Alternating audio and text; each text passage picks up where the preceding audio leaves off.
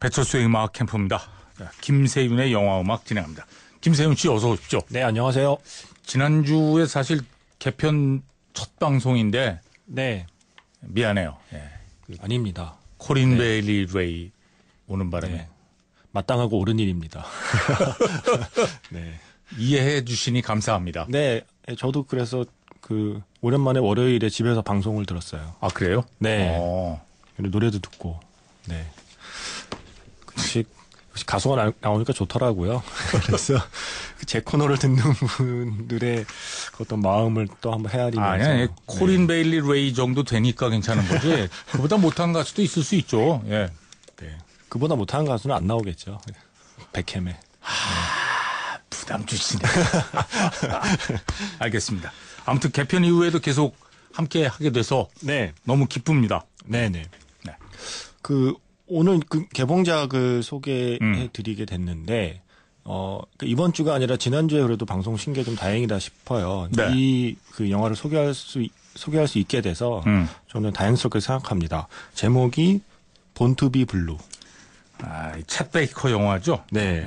이걸 제가 언- 사실 예고편도 못 보고 이런 영화가 제작된다는 것 자체도 사실 전혀 모르고 있었는데 음. 그, 그 봄에 열린 전주국제영화제 기자회견을 이제 딱 갔거든요. 네. 사실 기재 기자회견도 그 전엔 안 갔는데 음. 제가 이제 다른 영화제 일을 하다 보니까 다른 영화제는 기자회견 어떻게 해야지 하고 이제 구경하러 간 거예요. 몇 년 만에. 네네. 거기서 올해 개막작이라고 하이라이트를 잠깐 보여주는데 음.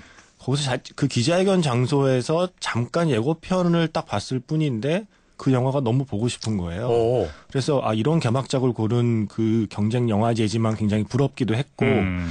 어, 이 영화는 뭘까? 그러니까 그 그냥 챗 베이커의 음악과 장면이 영화 장면이 몇 개 어우러진 것만 봐도 보고 싶게 만드는 그 힘은 뭘까를 궁금해하면서 저도 계속 기다렸던 작품이고요. 네. 그 뒤에 이제 영화제가 끝난 뒤에야 이 영화를 저도 봤습니다. 음. 근데 일단은 어떤 생각이 들었냐면 먼저 제가 고백을 할 건 저 사실 챗 베이커 잘 몰랐거든요. 아, 챗 베이커라는 인물을 잘 모르셨다. 어, 챗 베이커란 이름은 이제 많이 이름은 들어봤는데. 예, 그, 보통 그 정확히 그 사람의 음악은 몰라도 음. 유명한 뮤지션은 이름은 한 번쯤은 다 듣게 되잖아요. 그렇죠. 그 사실은 더 솔직히 고백하자면 챗 베이커가 트럼펫을 불었던 것 같은데 음. 만약에 누가 퀴즈로 챗 베이커가 연주한 악기는 하면서 보기를 트럼펫과 트럼본을 들었으면 트럼펫, 트럼본, 색소폰, 예, 클라리넷. 잠시 헷갈릴 말 헷갈릴 수도 있을 만큼 제가 잘 몰랐습니다. 사실은. 챗 베이커의 음악은 그냥 들어도 아 이게 챗 베이커가 한그 음. 악이야라콕 찍어서 기억을 안 했기 때문에 그럴 수 있죠. 예. 사실 근데 어 그 예고편을 보는 순간 어 왜나챗 베이커에 대해서 왜 잘 몰랐지 음. 하면서 그 예고편을 보는 순간 영화를 보고 싶기도 하지만 챗 베이커에 대해서 알고 싶다는 생각이 아, 들었어요. 그리고 네네. 무엇보다 에다노크가 주연을 맡은 에다노크가 연기하는 챗 베이커는 대체 어떤 모습일까? 음. 사실은 그러한 궁금증을 갖고 영화를 봤고요. 네네. 일단 저는 영화가 참 좋았습니다. 음. 그러니까 이게 그 특히 음악 영화라는 게 신기해요. 그 음악 영화를 다른 장르의 영화랑 같이 이렇게 놓고 평가하는 게 점점 부당하다고 생각하는 음. 게 다른 영화에서는 좀 짜임새가 허술하다고 비판을 받을 만한 시나리오라 해도 음악 영화는 그게 용서가 된다고 생각하거든요. 음. 그러니까 음악 영화에서는 특히 이런 그 실존했던 뮤지션의 전기 영화는 그 뮤지션의 음악이 흐르는 장면을 음. 어떻게 만들어낼 것인가가 핵심이라고 보는데 이 영화의 장면 장면이 저는 참 좋았습니다. 그러니까 음. 이 영화의 장면 장면에 챗 베이커의 그 주옥 같은 음악이 흐르는 순간 순간들이 너무 좋아서 저는 일단 본투비 블루를 무척 좋아했다는 전제 하에 네.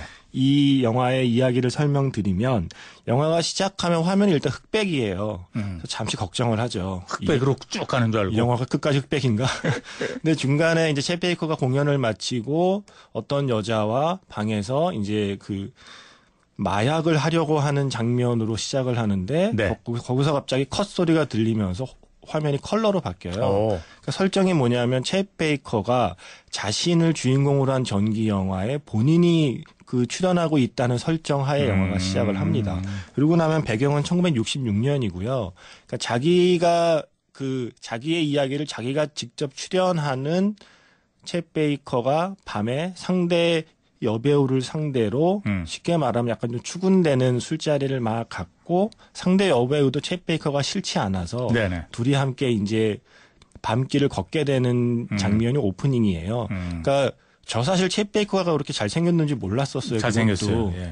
제가 알고 있는 쳇 베이커는 나중에 나이 먹어서 아, 그, 그- 저, 막 술과 마약에 찌든 예. 그 모습. 예. 제가 알고 있는 그 앨범 사진이었거든요. Straight from the Heart라는 그 앨범에 약간 쭈글쭈글한 얼굴로 트럼펫 들고 서 네네. 있는 그 사진은 제가 기억하거든요. 아, 그 얼굴만 기억하고 있었는데 자료를 보니 또 옛날 사진을 보니 음. 잘생겼더라고요. 음. 그래서 그 당시에 실제로 많은 여자들이 그렇게 좀 따랐다고 하는데 그렇죠. 예. 그랬던 챗 베이커가 또 한 명의 여자와 이제 썸을 타려고 하는 그날 밤, 동, 그, 그 빚쟁이들이 찾아와서 얻어맞게 되고, 음. 이가 모두 부러지게 되는 네. 상처를 입게 됩니다. 실제 챗 베이커도 그런 일을 겪었다고 예. 하고요. 그래서 영화는 이가 모두 부러진 트럽, 그, 트럼펫 연주자가, 음. 그러니까 그건 마치 피아니스트가 손가락을 잃은 것과 다른 그렇죠. 거잖아요. 예. 이가 다 부러진 챗 베이커가 의치를 끼우면서 다시 트럼펫을 불어서 예전의 실력으로 재기하려고 하는 과정을 그리고 있습니다. 그래서 이 영화의 화면을 보고 있으면 그러니까 정확히는 이제 챗 베이커의 70년대가 주로 이제 담기고 있거든요. 네네.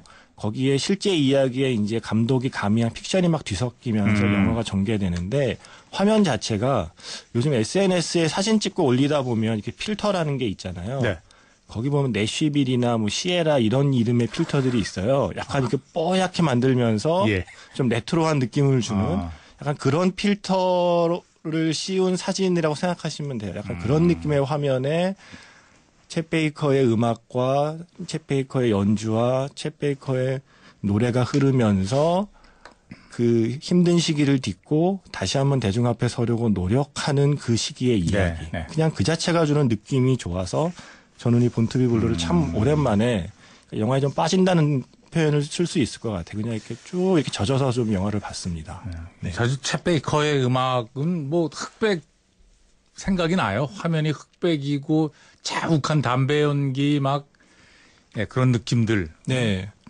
그리고 에단 호크가 아 역시 연기를 잘해요. 잘해요. 예. 사실 좀 쳇 베이커의 그 주름진 마지막 뭐그 음. 후기 모습만 기억하고 있어서 지나치게 잘생긴 배우를 캐스팅한 거 아닌가? 나는 의심을 지우지 못했지만 과거 사진을 보니까 아 에단 호크가 연기할 만한 사람이었구나라는 걸 저는 이제 영화를 다 본 뒤에 알게 됐습니다. 음. 네. 네. 자 그러면 음악을 한 곡 듣죠. 어, 이 Born to Be Blue의 사운드 트랙이 있는데 음. 그래도 일단 첫 곡은 쳇 베이커 본인의 버전으로 한 곡을 들려드리고 싶어서 아 사운드 트랙에서는 에단 호크가 예, 노래했네. 에단 호크가 어. 이 곡을 부르기도 하고 영화에서도 제법 제법 잘 어울립니다. 사운드 네네. 트랙에 본인이 부른 버전도 음. 실려 있고요. 하지만 그래도 쳇 베이커 전기 영화니까 쳇 쳇 베이커가 베이커의 오리지널 버전. 네, 쳇 베이커가 부른 노래 중에 아마 가장 대중적으로 사랑받은 곡이 아닐까 싶습니다. 그렇죠. My Funny Valentine. 자, 어, 마침 또 8705번으로 네. 오늘 너무 상처받은 날인데 한참 울다가 배캠 들으면서 마음 가다듬고 있어요. Born to Be Blue 예고편 보다가 또 울컥하네요. 와. 예고편에도 울컥하는군요. 네. 자, 쳇 베이커, My Funny Valentine. My funny Valentine, sweet comic Valentine, you make me smile with my heart.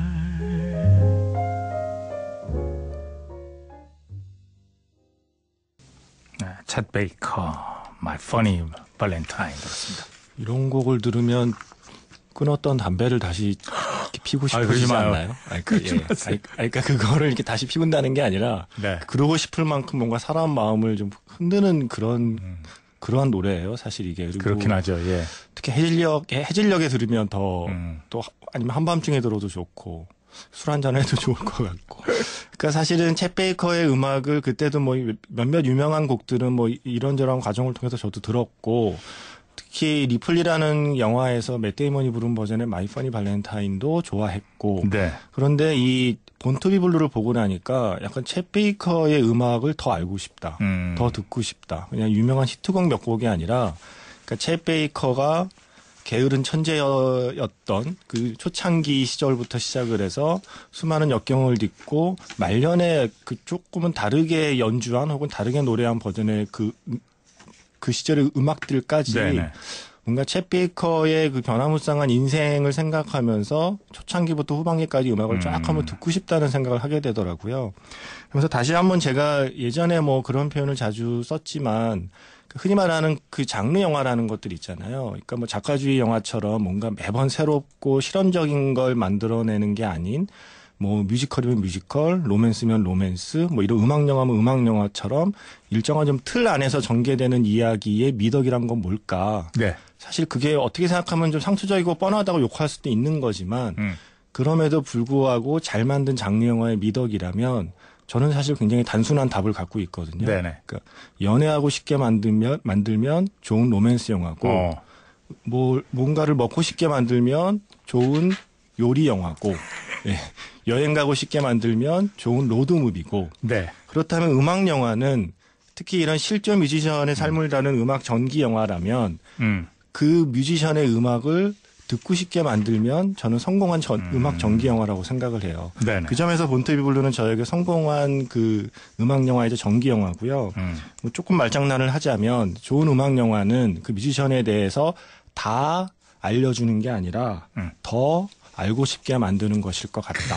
왜냐하면 이 영화 같은 경우에 이것이 다큐멘터리가 아니라서 그렇죠. 그러니까 실제로 자료랑 비교해 보면 사실이 아닌 그러니까 영화적으로 만들어낸 이야기들이 많이 음. 들어가 있거든요. 그래서 이 영화를 보고 챗 베이커의 삶이 영화 속에 나온 그대로다라고 생각하시기보다는 그건 아니죠. 예.